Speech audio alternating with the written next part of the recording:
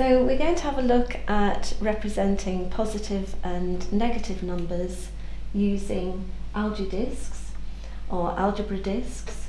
Each one of the discs has got two sides.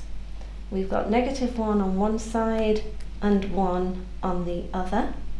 And a key concept when we're using algebra discs is uh, the zero pairs concept.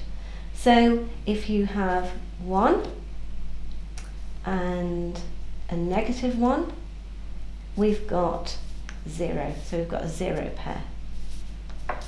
Or if we've got 3, for example, and negative 3, we've got three zero pairs.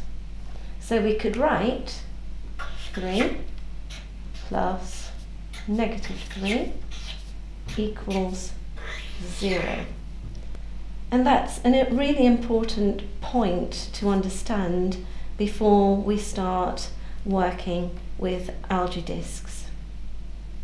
We could think of negative 3, 1, 2, 3, plus 3 equals 0.